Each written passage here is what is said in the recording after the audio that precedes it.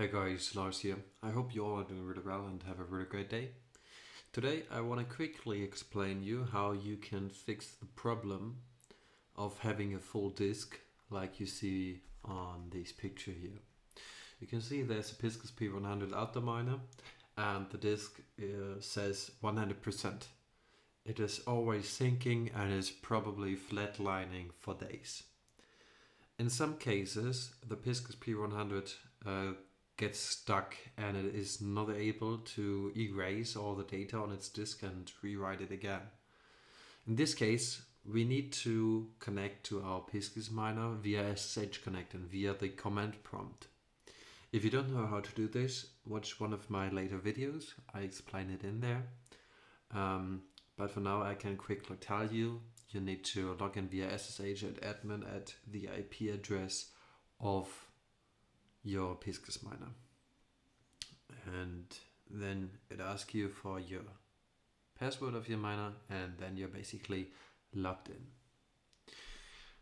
Let's assume you got an SSH connection to your Pisces miner. The first thing you need to do, like I mentioned, is uh, you need to get a connection to it and then we can double check for the available space of your miner by doing the command df minus h.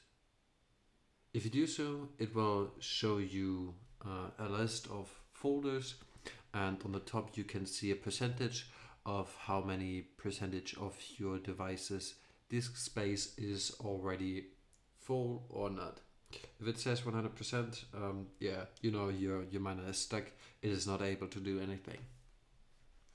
Okay, the next thing we want to do is type in the command sudo docker docker ps. This will give us an overview of the dockers. Basically, dockers are those kind of instruments that um, are inside our libraries or inside our folders of the whole miner, and it is showing us uh, if it is doing anything currently. It is it is just for purpose to get a bit more known of what our Pisces miner is doing or what our Helium miner especially is doing. Um, but is it is nothing that we really need to understand for now. The next thing we really need to do is we need to type in the command sudo docker stop miner. This will stop the current processes if they are not already stopped. I mean, you could technically see in, in the previous command if our miner is stopped or not, but I will assume that it doesn't matter and that you just type in these commands or this command sudo docker stop miner and it will stop every process it is currently doing. Now comes a bit of the tricky part. I mean, it's not really tricky. You just need to copy and paste like I always do in my videos. Just copy and paste and it will do everything perfectly for you. You just need to make sure that you really copy and paste it correctly. Or when you like to type it in, type it correctly. Otherwise, it could erase data from your Pisces miner uh, and it could potentially break your device. So keep in mind, copy and paste, easy way to go.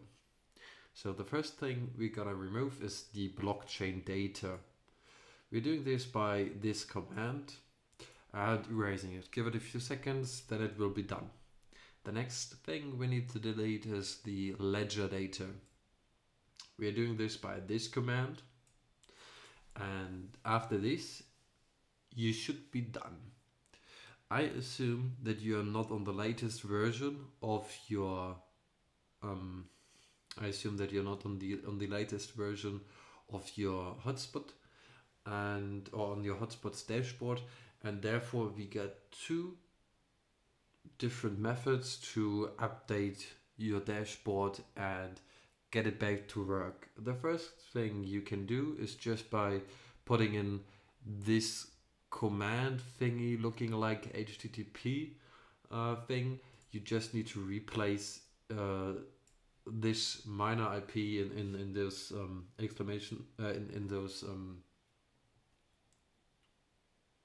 yeah I don't know the English word for for these. You just need to put in your miner IP in in this one here, and then it should be working. In my case, when I did it, it hasn't worked and I need to update the miner dashboard via SSH and while we are currently or while you are currently in your command prompt and you are already connected to your Pisces miner via SSH you will do two commands. The first one you want to do is cd slash home slash admin. This will redirect your um, yeah your working area to the home admin and inside there we will do the second command sudo uh, wget and the rest of this here.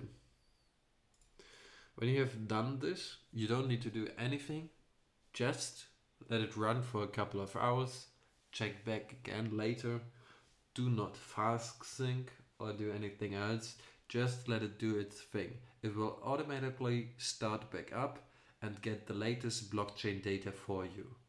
And you will see the problem of getting 100% disk space is gone. Thanks for watching. See you in the next one.